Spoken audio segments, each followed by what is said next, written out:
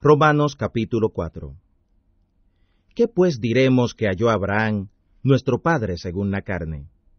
Que si Abraham fue justificado por las obras, tiene de qué gloriarse, mas no para con Dios. Porque ¿qué dice la Escritura? Y creyó Abraham a Dios, y le fue atribuido a justicia. Pero al que obra, no se le cuenta el salario como gracia, sino como deuda. Mas al que no obra, si no cree en aquel que justifica al impío, la fe le es contada por justicia. Como también David dice ser bienaventurado el hombre al cual Dios atribuye justicia sin las obras, diciendo, Bienaventurados aquellos cuyas iniquidades son perdonadas y cuyos pecados son cubiertos.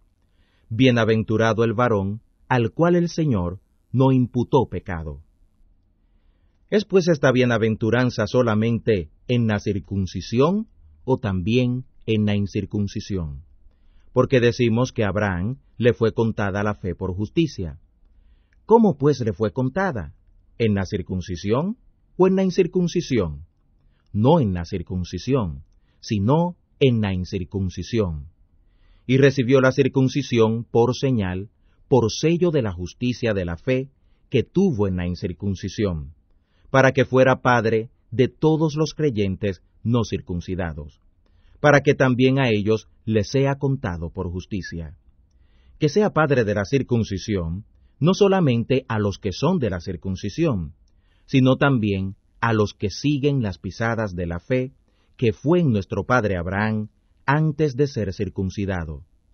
Porque no por la ley fue dada la promesa a Abraham o a su simiente, que sería heredero del mundo, sino por la justicia de la fe.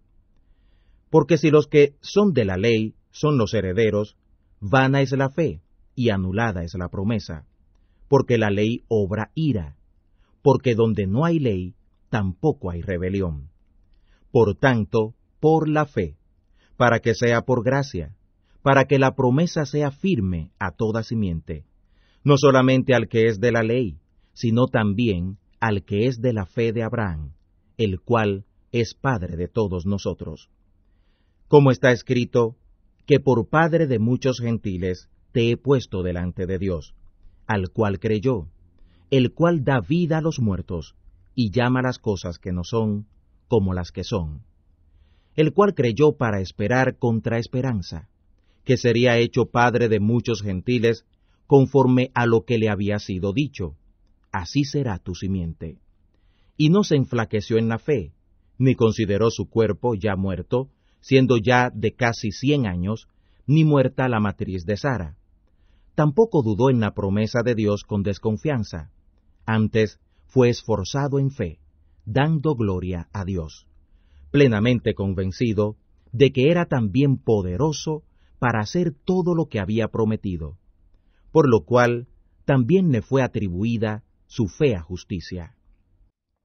Y no es escrito esto solamente por él, que le haya sido así contado, sino también por nosotros, a quienes será así contado, esto es, a los que creen en el que levantó de los muertos a Jesús, el Señor nuestro, el cual fue entregado por nuestros delitos y resucitado para nuestra justificación.